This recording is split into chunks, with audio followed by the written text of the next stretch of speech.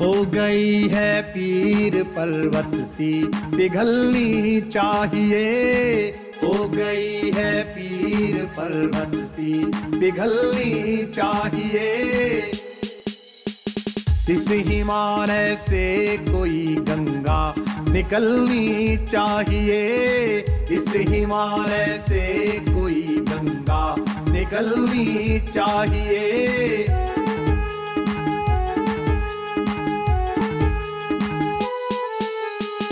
आज ये दीवार पर्दों की तरह हिलने लगी। आज ये दीवार पर्दों की तरह हिलने लगी। शर्त लेकिन थी कि ये बुनियाद हिलनी चाहिए। शर्त लेकिन थी कि ये बुनियाद